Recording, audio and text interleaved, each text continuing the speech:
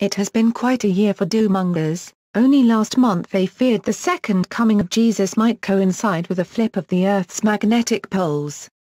Now a new theory suggests the world may be ended by hidden planet hurtling through our solar system called Nibiru. Conspiracy theorists claim the world's scientists and governments have been covering up this impending doomsday. A video has appeared on YouTube claiming to capture footage of the mysterious planet, alongside a blood moon, which they say marks the beginning of the end. For years, conspiracy theorists have claimed that Nibiru, or Planet X, an alleged planet with a large orbit, will wreak havoc on Earth.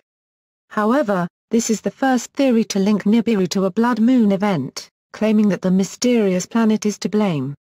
Blood moons are caused by sunlight passing over the Earth's atmosphere which is refracted in such a way that green to violet light is scattered more strongly than red light, leaving the red light to reach the moon's surface.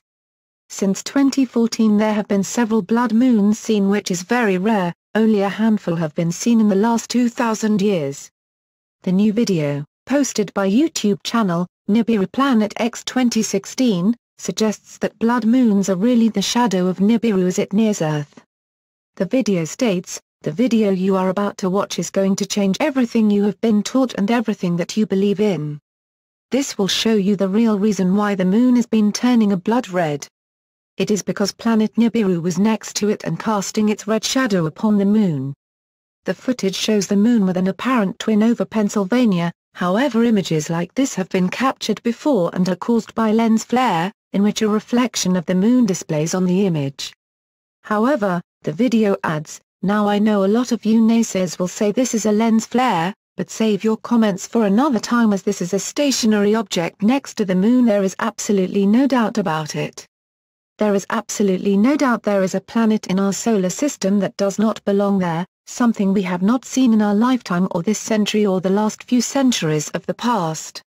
The video also says that the world governments know about the impending apocalypse, but have kept it private.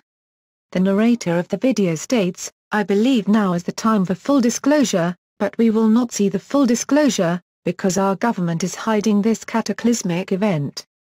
I guess the time is now to prepare.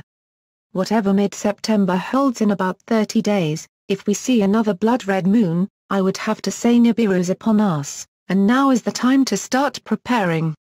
I don't know how much time we have. This is not the first time that people have predicted the arrival of Nibiru, however it is yet to be proven to be a real planet.